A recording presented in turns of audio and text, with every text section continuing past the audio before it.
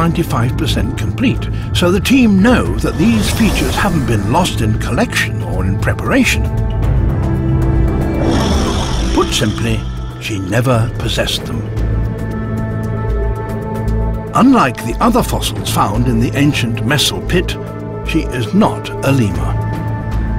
She must be a member of another group. Could she be in a group connected to us? In the beginning, we all thought we are just dealing with a certain kind of uh, fossil lemur. And uh, step by step, our ideas changed, and more and more uh, anthropoid uh, traits uh, turned up. And um, now we are really thinking of relationships uh, to anthropoids, to hominoids, finally, and at the end to man. The team have shown that Ida is not on the lemur line of evolution. But is she on the human line?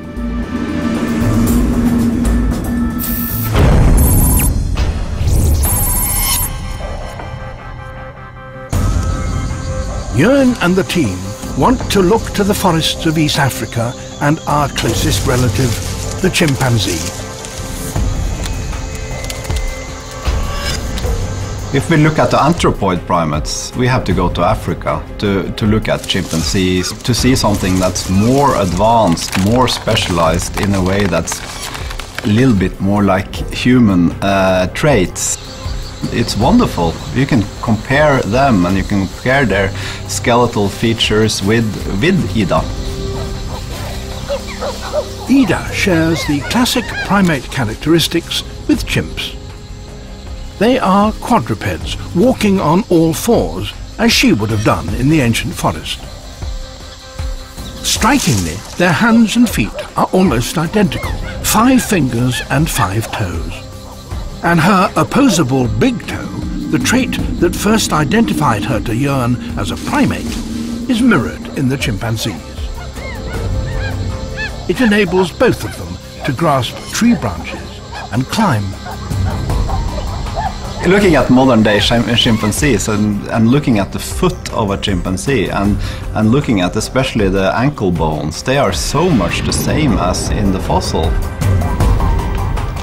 At this stage of the investigation, Ida is showing some basic human-like characteristics in her skeleton. But her body proportions and the length of her fingers are nonetheless lemur-like. The picture is still unclear. It is, broadly speaking, a lemur monkey. How lemur it is and how monkey it is is what we're trying to figure out. And so it looks to me like it ties higher primates, apes and monkeys, into something in the Eocene that's clearly more primitive.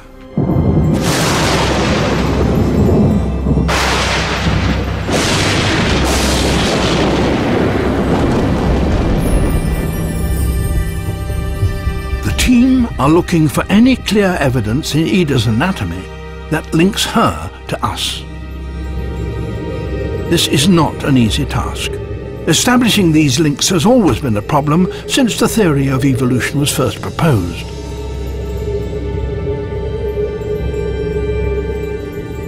A 150 years ago, Charles Darwin explained the incredible diversity of life on Earth in a new way.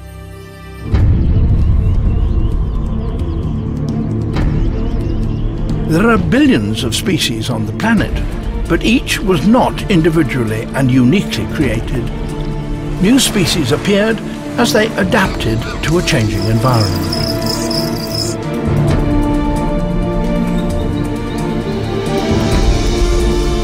At the time, Darwin's proposal was controversial. He argued that monkeys, apes and ourselves have a common ancestor. That ancestor, we now know, must have lived hundreds of millions of years ago.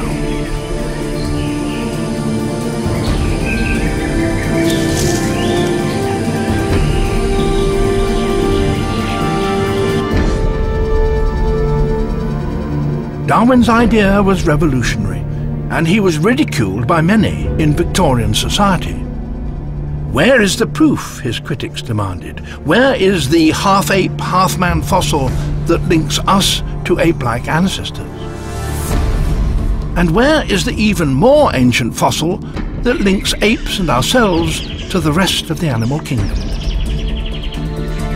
Darwin predicted that such creatures must have existed, but he never could produce the fossil evidence. It was missing.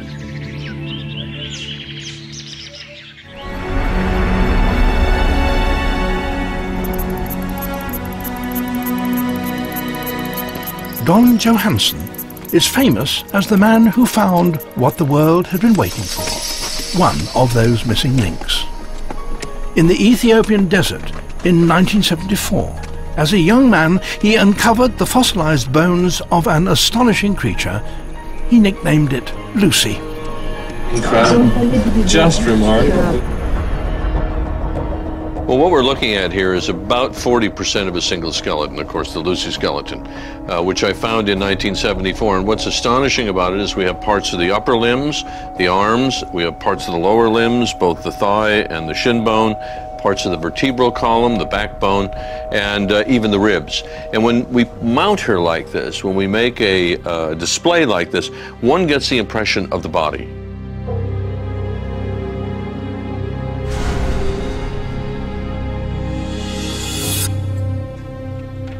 Lucy looked like an ape, but she was beginning to show human characteristics in her skeleton.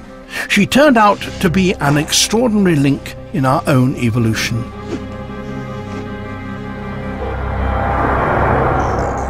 Finding Lucy, of course, it's a fantastic fossil that shows uh, the upright position, the standing position, the walking of the first human-like ancestors. Uh, so, so she's she's a hallmark because of she she walks like us. One of the things that Lucy gives us is a, a real picture of what her pelvis looked like. Uh, the pelvis is obviously one of the most crucial anatomical regions in the body for the way animals get around. For example, uh, if we look at a, an animal that walks on all fours, a quadruped, and in this case it's a chimpanzee, you can see that the hip bones, so one we feel just here, uh, as you can see are facing forwards. Whereas in humans, like ourselves, they have been rotated around so that the muscles on the back are now on the side. They're no longer facing backwards. And they stabilize the hip so that when we walk, we walk as a striding gait. If you watch, watch a chimpanzee walk bipedally, it walks like this because it's always collapsing.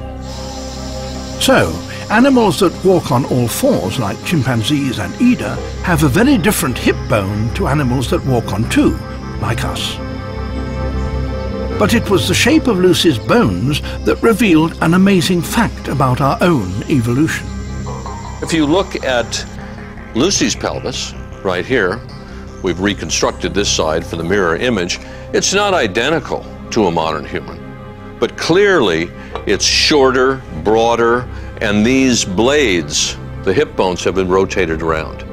So this is a clear adaptation to upright walking on the ground.